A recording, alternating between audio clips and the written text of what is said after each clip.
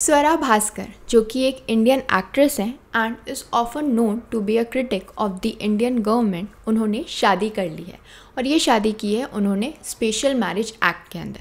उनका ये कहना है कि ये जो एक्ट है, ये बहुत ही हेल्पफुल है और इंपॉर्टेंट है। क्योंकि ये कपल्स को राइट देता है right to love right to choose their life partner and right to marry Swara Bhaskar ने फहाद अहमद से शादी की है who is the president of the Samajwadi party of the Maharashtra and Mumbai और क्योंकि स्वरा भास्कर और फहाद दोनों ही डिफरेंट रिलीजन के हैं, इसीलिए it was very difficult for both of them to get married under our personal laws इसीलिए उन्होंने चूज़ किया स्पेशल मैरिज एक्ट को।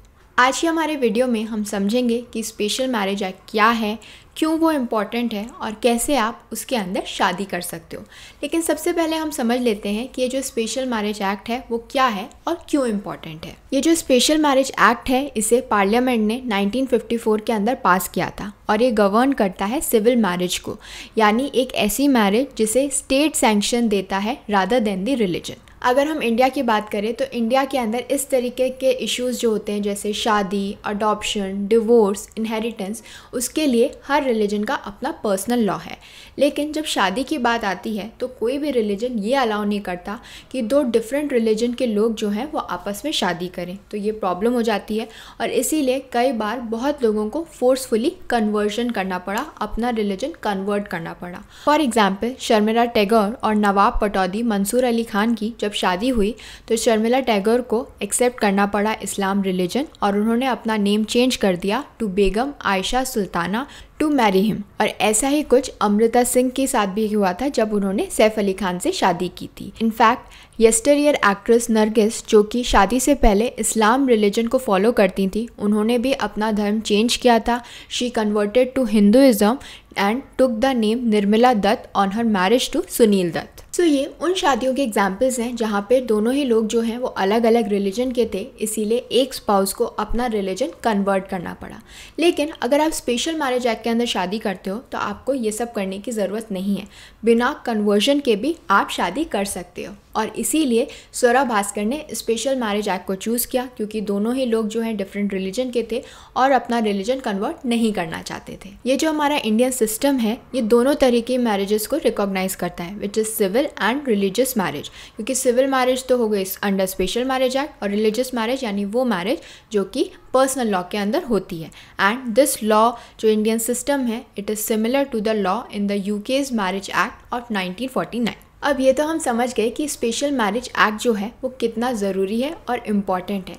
लेकिन इसके अंदर शादी करने के लिए आपको क्या क्या स्टेप्स जो हैं फुलफ़िल करने पड़ेंगे वही हम देखते हैं।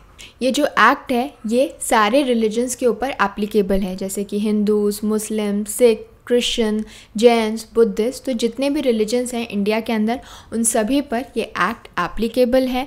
दो, कुछ कस्टमरी रेस्ट्रिक्शंस होते हैं। कुछ चीज़ें हैं जो आपको ध्यान में रखनी पड़ेंगी बिफोर गेटिंग मैरिड जैसे दोनों ही लोग जो हैं, वो किसी भी प्रोहिबिटेड रिलेशनशिप में नहीं होने चाहिए। डिग्री ऑफ़ प्रोहिबिशन में नहीं आने चाहिए। सेक्शन फोर जो है, वो ये बताता है कि क्या क्या रिक्वायरमेंट्स आपको फुलफ़िल करनी पड़ेंगी इसके अंदर शादी करने के लिए। सबसे पहला पॉइंट तो ये है कि ये सिर्फ़ मोनोगैमी अलाउ करता है। है। तो जब भी आप शादी कर रहे हो, आपको एक ही स्पाउस होगा। अगर आपकी कोई पहले शादी हुई है तो या तो आपको डिवोर्स देना पड़ेगा, या फिर अगर आपके स्पाउस की डेथ हो गई है, तभी आप दूसरी शादी कर सकते हो, वरना नहीं कर सकते। दूसरा पॉइंट है वैलिड कंसेंट तो दोनों पार्टीज़ जब तक कंसेंट नहीं देंगी शादी के लिए, वो शादी शादी नहीं मानी जाएगी। अगर बाई चांस कोई पर्सन जो है, वो मेंटली इनकेपेबल है, किसी भी तरीके की वैलिड कंसेंट के लिए तो उस केस के अंदर जो है, वो शादी को जो है क्वेश्चन मार्क लग जाए जाएगा वॉइडेबल हो जाएगी क्योंकि दोनों ने अपनी कंसेंट से शादी नहीं की थी। थर्ड इज़ मिनिमम एज तो अगर आपको स्पेशल मैरिज एक्ट के अंदर शादी करनी है तो उस केस के अंदर जो लड़का है, वो 21 साल का होना चाहिए और जो लड़की है, वो मिनिमम 18 साल की होनी चाहिए। So there is a minimum age maximum कोई एज नहीं है। तो minimum age for boys it is 21 one years and for girls it is 18 years so special marriage act के अंदर शादी करने के लिए आपको ये सारी कंडीशन को फुलफ़िल करना पड़ेगा। लेकिन अब प्रोसीजर क्या है? कैसे क्या क्या आपको स्टेप्स लेने पड़ेंगे? ये सारे ही ही स्टेप्स हमें गिवन है under section five of the special marriage act तो इसके लिए सबसे पहले आपको एक रिटर्न नोटिस देना पड़ेगा to the marriage officer of the district जहाँ पे एटलीस्ट कोई भी एक स्पाउस जो है वो रह रहा हो, कोई भी एक पार्टी जो है वो रही हो for at least thirty days immediately proceeding the notice यानी जब आप ये मैरिज का नोटिस लगा रहे हो, उससे तीस दिन पहले तक either of the party was living at that particular place और स्पेशल मैरिज एक्ट के अंदर शादी करने के लिए पार्टीज़ के साथ साथ तीन विटनेसेस का होना भी ज़रूरी है और ये सभी लोग जो हैं, वो साइन करेंगे declaration form before the marriage officer so once the declaration is accepted parties को जो है एक मैरिज सर्टिफिकेट दिया जाएगा, जो कि एक प्रूफ होता है कि शादी हो चुकी है। Basically it's a conclusive proof of the fact that the marriage under this act has been solemnised and all the formalities respecting to the signatures of the witnesses have been complied with. But इसका मतलब ये नहीं है कि एक दिन आप उठे, वहाँ पे गए मैरिज ऑफिसर के पास और आपने शादी कर ली। ऐसा नहीं है। स्पेशल मैरिज एक्ट के अंदर एक नोटिस पीरियड देना होता है और वो बहुत ज़रूरी होता है। जब तक वो आप नोटिस पीरियड नहीं दोगे, तब तक आप शादी नहीं कर सकते।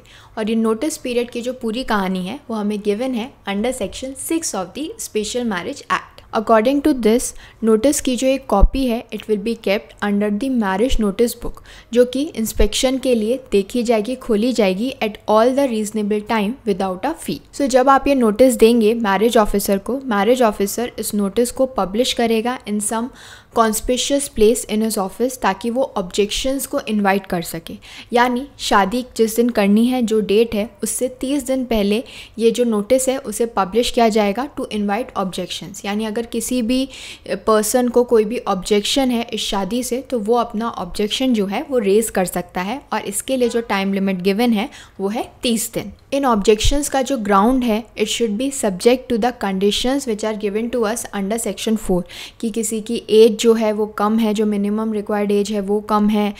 कोई किसी ने अपनी फ्री कंसेंट नहीं दिए इस शादी के लिए या फिर किसी का ऑलरेडी एक लिविंग स्पाउस है तो जो भी कंसिड्रेशन सेक्शन फोर के अंदर रिक्वायर्ड है, उन्हीं ग्राउंड्स पे आप इस मैरिज को ऑब्जेक्ट कर सकते हो। और अगर ऑब्जेक्शन किया जाएगा तो in that case marriage officer जो है ये शादी तब तक नहीं कर सकता जब तक वो उस ऑब्जेक्शन के मैटर के अंदर पूरी इंक्वायरी नहीं कर लेगा और सेटिस्फाई नहीं हो जाएगा कि जो भी ऑब्जेक्शन रेज़ किया था वो फॉल्स है। इन केस अगर वो ट्रू निकलता है तो ऑब्वियसली शादी नहीं हो पाएगी। बट अगर वो फॉल्स निकलता है तो पूरी इंक्वायरी करने के बाद, ढंग से समझने के बाद कि ऑब्जेक्शन क्यों रेज़ किया था, वो ऑब्जेक्शंस क्लैरिफाई हो गए हैं तो उसके बाद ही वो ये शादी करा सकते हैं। सो वी कैन सी कि स्पेशल मैरिज एक्ट के अंदर शादी करने के लिए आपको बहुत सारा प्रोसीजर फॉलो करना पड़ता है। और इसी प्रोसीजर को फॉलो करने के बाद आप इसके अंदर शादी कर सकते हो you will be legally valid I hope this information was helpful to all of you. Please do like, share and subscribe to my channel. Thank you.